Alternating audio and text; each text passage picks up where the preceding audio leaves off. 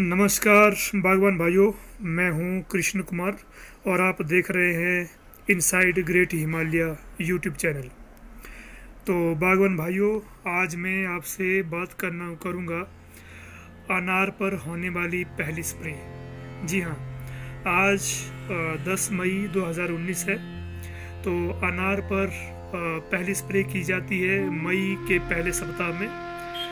इस बार क्योंकि chilling hours बहुत ज़्यादा रहे लगभग 1400 आवर्स से भी ज़्यादा रहे वो। तो इस कारण से इस बार अनार के जो फूल हैं, वो इस बार थोड़ा सा पाँच या सात दिन देरी से आ रहे हैं। तो अभी बिल्कुल सही समय है अनार के फूलों पर स्प्रे करने का। क्योंकि अभी अगर अनार के फूलों पर स्प्रे नहीं करते हैं तो फ्रूट बोरर नाम का जो इंसेक्ट है, जो अभी बिल्कुल सूक्ष्म होता है, जो कि आँखों से नहीं दिखता है, वो फूलों के अंदर चला जाता है और वहाँ फूलों का रस पी करके, खा करके वो वहीं पर धीरे धीरे बड़ा होता है। और जब अगर हम स्प्रे नहीं करेंगे तो ये फूल उसके बाद जब झड़ जाएँगे और यहाँ पर फल का विकास होगा फ्रूट डेवलपमेंट होगा तो उसमें ये फ्रूट बोरर अंदर से अनार के दाने को, अनार के फल को अंदर से सड़ा देगा और उसमें से छेद करके बाहर निकल आएगा। तो इस बीमारी से बचने के लिए हमें यहाँ पर स्प्रे करना है, जो कि अभी बिल्कुल सही समय है। तो स्प्रे करने के लिए आपको इंसेक्टिसाइड का इस्तेमाल करना है फंगिसाइड का भी इस्तेमाल करना है, और साथ में यदि आप चाहें तो उसमें बोरोन भी डाल सकते हैं। और कोई सा एक अच्छा सा स्टिकर तो ये चार चीज़ें आपको इस्तेमाल करनी है। तो सबसे पहले हम बात करेंगे इंसेक्टिसाइड की कौन कौन सी दवाइयाँ डालनी है कौन कौन से इंसेक्टिसाइड डालने हैं। मैं केवल आपको नाम बताऊँगा। उसके ब्रांड नेम आप कोई भी इस्तेमाल कर सकते हैं। तो फ़िलहाल मैं उदाहरण के लिए आपको कुछ यहाँ पर नाम बताऊँगा। जैसे इंसेक्टिसाइड की हम बात करें तो इंसेक्टिसाइड जो अनार के फूलों पर पहले स्प्रे करते हैं, वो इंसेक्टिसाइड है साइपर मिथ्रिन टेन ई या फिर साइपर मिथ्रिन ट्वेंटी फाइव ई तो अगर साइपर साइपर मिथ्रिन टेन ई है तो इसको 200 एम एल 200 लीटर पानी में इसको इस्तेमाल करना यानी 200 मिलीलीटर जो इंसेक्टिसाइड है टेनिसी का, वो आपको एक ड्रम में 200 लीटर पानी वाले ड्रम में डालना है। अगर आप इस्तेमाल करते हैं साइपर मिथ्रिन 25 ईसी तो आपको इसका 80 एम एल अस्सी मिलीलीटर दवाई का इस्तेमाल करना है 200 लीटर पानी के लिए, यानी एक ड्रम के लिए।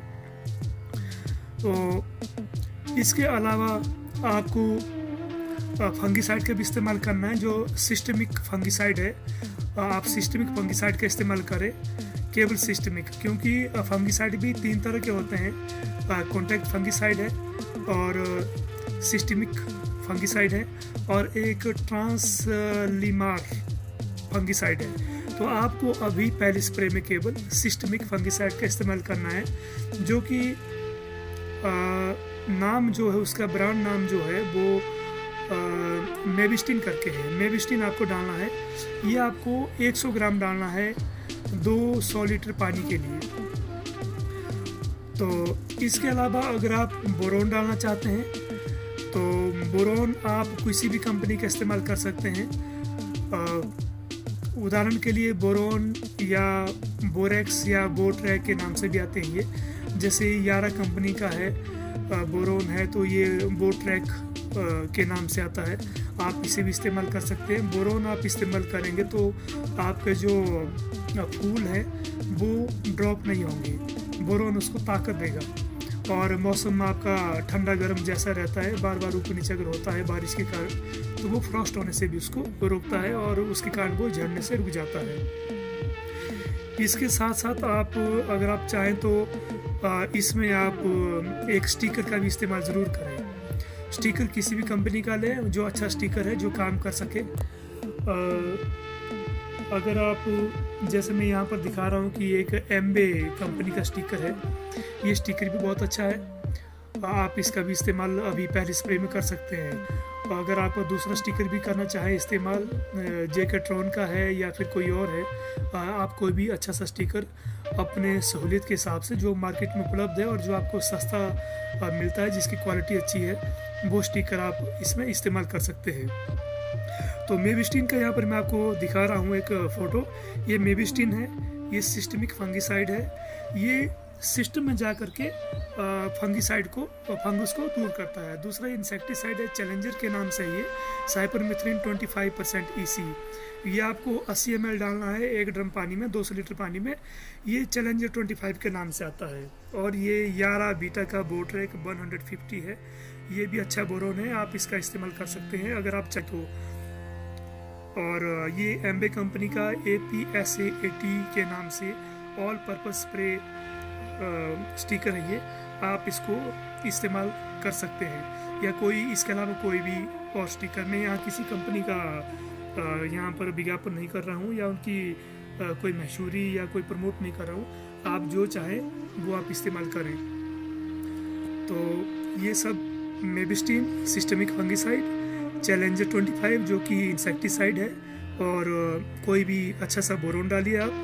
ये बोरोन जो आपको डालना है अगर ये जैसे यारा का है तो आप यहाँ पर 250 मिलीलीटर एक ड्रम में इस्तेमाल कर सकते हैं। और जो स्टिकर है, वो 100 मिलीग्राम 100 एम आपको एक 200 लीटर पानी में इसको डाल करके मिलाना है।